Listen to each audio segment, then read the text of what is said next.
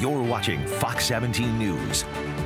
The Palisades nuclear power plant wants to make an addition, announcing plans for two small modular reactors, or SMRs, at the site of its Lakeshore facility in Van Buren County. Now, the company that owns this now closed plant, Holtec International, is already trying to make history, as no nuclear plant has ever reopened after having its fuel removed. Now, these other two reactors are a somewhat separate operation, but they too would set a new industry standard the industry's really moved in this direction. Able to be built on site or in a factory. Then really you can deploy it anywhere in any conditions. Able to be installed in a smaller area or on different types of terrain. Really being able to bring these reactors to where the power needs are and help both industries and communities. The two small modular reactors would be able to power a combined 600,000 homes. The technology, a water pressurized reactor, isn't necessarily new. But its size and portability would be the first of its kind in America, and it's something that Holtec has been working on since 2011. SMRs are safe. Um, I would say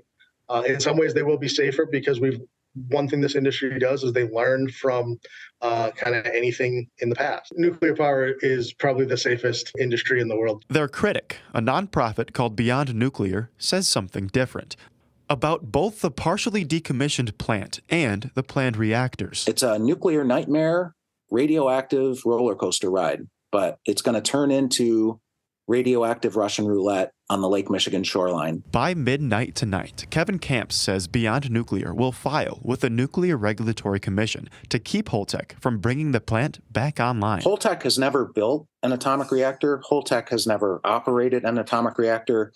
This is a lot of uh, learning curve for Holtec. And Holtec has a really bad record. We will challenge them at every turn on the old reactor and on the new reactors. Right now, the energy company needs federal approval and federal money for the facility. If they receive it, they plan to restart the plant in 2025 and submit construction plans for the small reactors in 2026. I think it's something that, you know, quite frankly, you know, I think not just the nation, but the world needs to help uh, meet our climate goals and ensure safe power for future generations. Now, in my interview with Beyond Nuclear, they also mentioned a concern about nuclear waste disposal. The nonprofit claimed that Holtec planned to ship these materials from Palisades up through Lake Michigan and into the port of Muskegon, and from which point they would then be loaded onto trucks and driven to New Mexico, where Holtec has a storage facility. Now, the energy company denied those claims and said that sort of thing is really left up to the Department of Energy.